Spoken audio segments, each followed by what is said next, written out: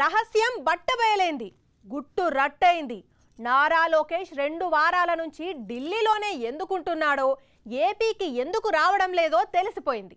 లోకేష్ ఢిల్లీలో తలదాచుకున్నది CID arrest చేస్తుందనే భయంతో కాదట. అంతకు మించిన మరో కారణం ఉందట.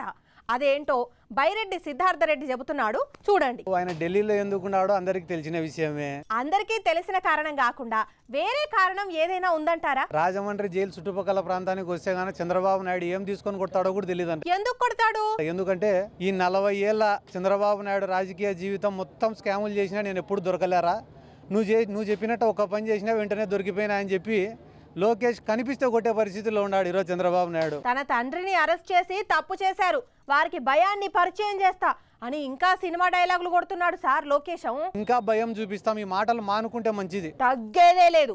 తాట తీస్తాం అని అంటున్నాడు. ఎన్నిసార్లు చెప్పినా కూడా అర్థం చేసుకోవడం లేదు. సించుతామంటున్నారు పొడుస్తామంటున్నారు రేపు అధికారంలోకి వస్తే మీ కథ చూస్తామంటున్నారు మరి వాళ్ళ అధికారంలోకి వస్తే మీ పరిస్థితి ఏంటి సార్? వాళ్ళ అధికారంలోకి వచ్చే సమస్యనే లేదు. అంత పెద్ద నాయకుడైన చంద్రబాబును ఎలా అరెస్ట్ చేస్తారని అంటున్నారు ఆ పార్టీ నాయకులు. ఇంకా లాస్ట్కి ఏది దొరకక డెబ్బై మూడేళ్ళ ముసిలోడిని అరెస్ట్ చేసినారు అని చెప్పి ఒక కొత్త రాగం పడుతున్నారు. ఆయననే ఈ ఊరు ఈ ఊర్లన్నీ తిరిగినాడు.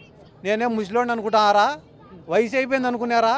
నా కథ చూపిస్తా అని తిరిగినాడు. జైల్లో వేస్తేనే నన్ను ముసిలోడిని వదిలేయండి అంటాడు. అయితే ఆదివారం లేకపోతే సోమవారం. అందితే జుట్టు అందకపోతే కాళ్ళు. ఇది ఆ పార్టీ సిద్ధాంతం.